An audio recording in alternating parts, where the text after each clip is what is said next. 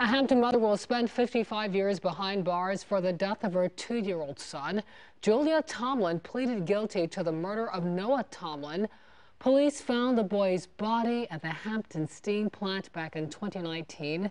10 on your side's Amy Avery was in court today when Tomlin learned her sentence and joins us now live outside the courthouse.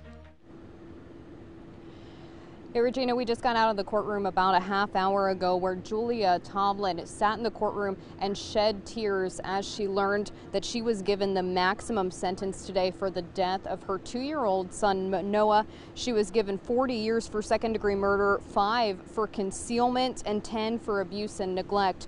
Now, prosecutors say this is a case that gripped the community because of the way Noah was found. His body was put in a Pampers box inside a trash bag, then dumped at the Hampton Steam Plant. The medical examiner testified saying this is a case she remembers all too well, even though she examined Noah's body in the summer of 2019.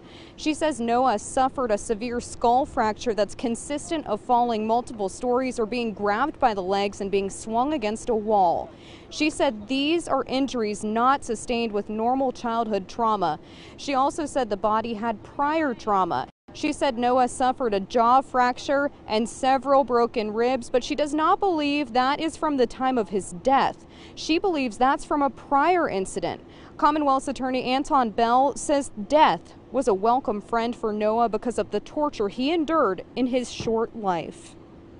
But absolutely, it's heart wrenching that he had to die, and it's heart wrenching that he had to suffer the way he did. But at the end of the day, death was a welcome friend because this kid had went through the worst of the worst.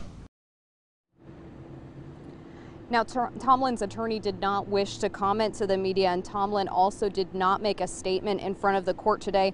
Her daughter, though, her 19 year old daughter, testified about what Tomlin was like as a mother before her grandparents took custody at the age of six. We'll have more on her testimony coming up tonight at 5. Live in Hampton, Amy Avery, 10 on your side.